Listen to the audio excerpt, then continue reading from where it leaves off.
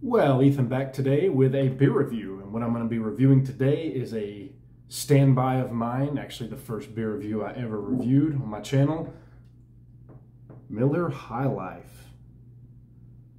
One of my favorite uh, macro beers. I even got the shirt today to match. Didn't plan that, but it is what it is. Go ahead and crack it. Um, this is a beer that I generally get for my weekend beer drinking if I'm not reviewing craft beer, this is something I'm going to drink, or perhaps Blue Ribbon or Coors Banquet, but more commonly this because it's still pretty cheap and affordable. You can get a six pack of pint cans for $5.99. Used to be $4.99, but beer prices, as we know, are going up. $6.99 some places, but I did find this particular six pack for $5.99. So excited about that. To pour it in the Pabst glass. This is a re-review, a revisit. I have reviewed this before, but it's been a while. I drink it fairly often when I drink beer, which is just a couple times a week now. Uh, large, foamy, about a four finger white head. The appearance is light, ascending bubbles, very yellow, very see-through uh, aroma. Just got me a new phone, so hopefully the picture quality is pretty good. Definitely better than my um, my uh, webcam on my uh, desktop. Definitely better quality. Uh, faint aroma, not a whole lot of aroma here. You get that typical kind of beer, keg beer smell, light corn. Just a ever so slight bit of malt. Not a lot of aroma though. Um, yeah, established 1903 in uh, Milwaukee, Wisconsin. 4.6% alcohol by volume.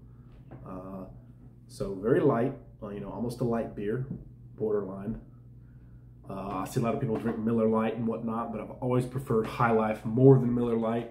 Uh, Miller Lite's just a little too light for me. Uh, when I want a light kind of pool beer, Miller High Life is one that I would go for. Uh, let's go ahead and get a sip. Light, crisp, and refreshing. Nothing, nothing big, bold, and flavorful here. You get a slight little twang of something like a, a corny maltiness, maybe a little hop, maybe, but it's ever so uh, subtle.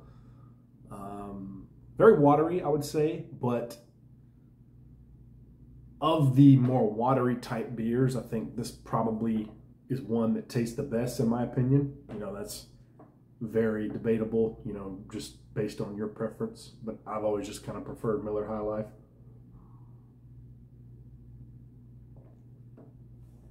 I love Pabst Blue Ribbon too, but um, I I find that Pabst Blue Ribbon has a has that kind of wine wine flavor. I'm not a big wine drinker, so I would generally prefer this over Pabst. I love Coors Banquet though. That's probably Coors Banquet's probably my favorite, and I like Budweiser too, but I don't get that as much because it's so pricey. But Coors Banquet and Miller High Life probably my two favorites. This is just not much to say about. It's just kind of a uh, you know a light, easygoing beer drinking experience. No complex flavors, nothing extraordinary, but it is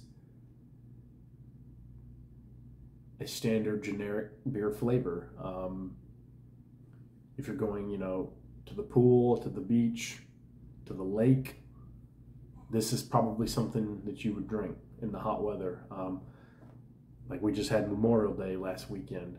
Uh, this is a Memorial Day beer in the truest sense of the word. You know, if you want to be like, um,